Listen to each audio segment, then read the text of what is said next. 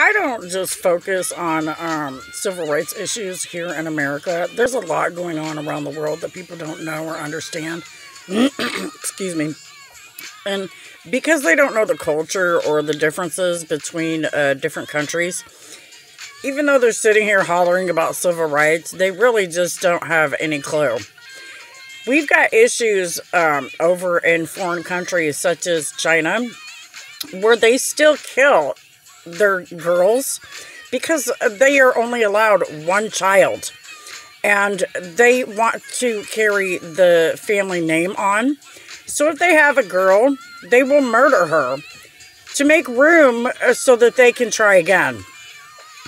These are things that we need to change. I'm so grateful that they stopped eating dogs over there because that was so, so inhumane. I pray that they learned their lesson where the bats are concerned too. So now, since we're on a roll, how about we talk about them stopping the killing of girls? And since we've got all these politicians who want to encourage immigration, how about we take some of the people that are from those types of countries who are having those types of issues because they don't have any space and encourage them to come our way? Excuse me. If we make friends with China and try to use that, we could actually cause more of a positive impact around the world by helping countries out that are doing these types of inhumane behaviors.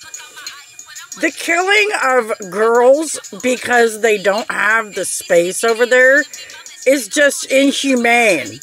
It's time for all of us girls to band together in order to rise up and make this type of discrimination stop once and for all with God's love.